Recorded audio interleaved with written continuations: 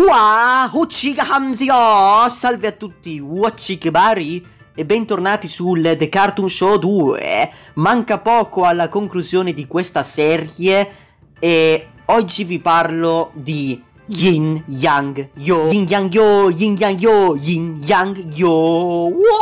Tutto? Ok, questo cartone animato che ormai molta gente non ne parla più, forse addirittura dimenticato, non lo so è nato nel 2006 e concluso nel 2009, ha in tutto due stagioni, è stato creato da Bob Bowley ed è un cartone animato canadese e americano. Ok, di che cosa parla Ying Yang e Yo? Allora, la storia narra le avventure o disavventure un po' problematiche di due conigli. La femmina è rosa e il maschio è blu-azzurro. Questi due conigli vogliono diventare dei grandi maestri dei Hufu Knights, cioè dei valorosi paladini della pace, eccellenti nelle pratiche di arti marziali e nella telepatia, però questi due conigli, anche se sono fratelli, si odiano molto.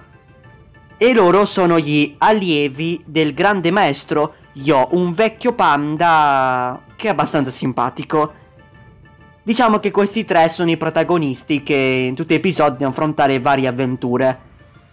Parliamo adesso dei personaggi. Yin è la femmina coniglietta rosa, lei ha il potere della magia, telepatia, lancia i raggi, molto molto bella. È un personaggio che mi è sempre piaciuto, me lo ricordo. Io Ying e Yang io lo guardavo, mi sembra o su Boeing o su K2 o un altro canale televisivo, non mi ricordo, vabbè. Poi abbiamo Young. Allora, Young, ok, lui è molto bravo nel corpo a corpo, usa delle armi, spade, boomerang. Ma il problema di Young, me lo ricordo, in ogni scena grida. Già, Young parla così. Oh Yin! Vieni forza! Dobbiamo combattere! Oh! Ok? Il maestro Yo, beh sì, lui pr- praticamente per tutti gli episodi lo vedi seduto sulla poltrona a guardare la, la tv oppure a mangiare qualcosa, a dormire, ma in realtà Yo è fortissimo, è molto potente lui, però non è che si vede sempre tanto in azione, eh, da quello che mi ricordo, ma comunque, vabbè. In tutti gli episodi di Ying Yang e poco Yo, Diciamo che i personaggi devono affrontare delle minacce, dei cattivi, dei pericoli, ma ogni volta si basa soprattutto sul rapporto di questi due conigli, Yin e Yang. Tra i due, sinceramente, preferisco di più Yin. Yang, dopo un po' rompe le scatole, ecco, lo dico.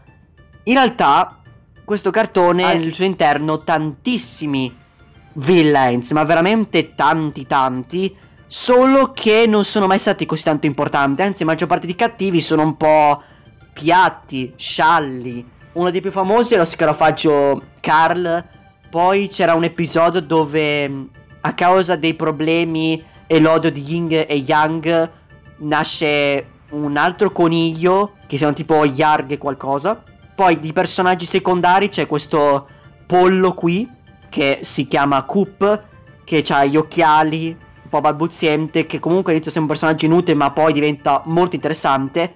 E poi abbiamo Lina. Lina è questa migliore amica di Yin che Yang è innamorato di lei. Non mi ricordo di niente di lei. Ehm, ok, va bene. Ragazzi, diciamo la verità. Ying Yang Yo, anche se la sigla me la ricordo era pure bella, però era solamente in inglese, alla fine riguardando gli episodi, eh, devo ammettere che non è così tanto grandioso, eh. Mi piaceva all'epoca, ma se proprio rivedete qualche puntata, notate che è un po' stupido come cartone animato. Ecco. Ma un'altra cosa che ho scoperto è che questo cartone lo trasmettevano anche su Toon Disney, Disney XD, quindi è anche della Disney Ying Yang Yo, non ne ho idea ragazzi, seriamente. Però, vabbè. Questa è la mia personale recensione, un cartone animato che merita di essere rivisto, riguardato, mi spiace che ormai non è più famoso, Poi non credo anche che hanno fatto dei giocattoli di Yin di Yang Yo. E quindi noi ci vediamo alla prossima. Yin Yang Yo!